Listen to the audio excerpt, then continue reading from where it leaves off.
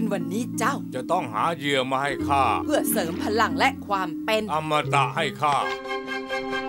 ภาพยนตร์สร้างชื่อของฉีเคิงผู้สร้างตำนานรักระหว่างคนและปีศาจออกล่าเหยื่ออีกแล้ว แย่แล้วเจ้าหนุ่มนั่น หวังจู่เสียน หญิงสาวที่เกิดมาเพื่อบทปีศาจสาวเสี่ยวเชียน เลสลี่จางรับบทบัณฑิตหนุ่มใส่ซื่อหนิงชัยเฉิน นางเป็นปีศาจจริงเหรอ ปีศาจที่จะสูบวิญญาณของเจ้า แต่นางเป็นคนดีนะ เฮ้ย